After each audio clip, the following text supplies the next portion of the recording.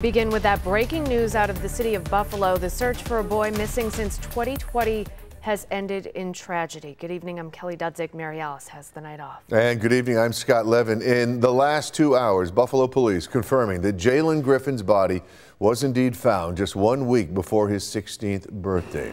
Doing the size, Nate Benson joins us live from Buffalo Police headquarters with new details that he just learned. Nate.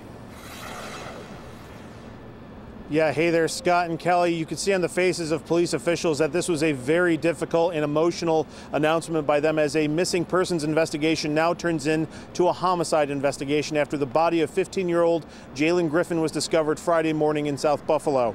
Griffin was reported missing in August 2020, and there have been several organized searches for him ever since. As recently as two months ago, Crime Stoppers offered a $7,500 reward for anyone with information that led to Griffin being found. Buffalo police say they were called to the residence on Sheffield Ave in South Buffalo Friday morning after it was reported a body was discovered by somebody who had permission to be in that residence. Commissioner Gramaglia explained how they were able to determine the body was identified as 15 year old Jaylen Griffin. Take a listen.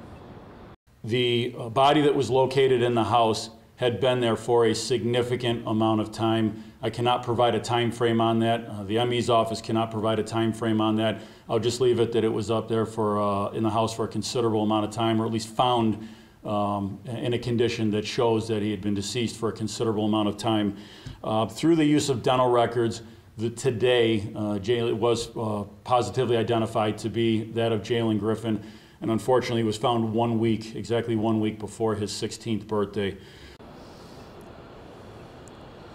Now, the case is in the hands of homicide detectives and the district attorney's office. Acting District Attorney Michael Keane was very tight lipped about any details related to this case, whether or not they are talking to any persons of interest or not. The commissioner also unable to, uh, you said the medical examiner was able to determine, though, it was a homicide. Now, again, uh, Jaylen Griffin, 15 years old next week, as the commissioner said, is, was his 16th birthday. There will be a memorial held near Central Terminal next Monday in his memory.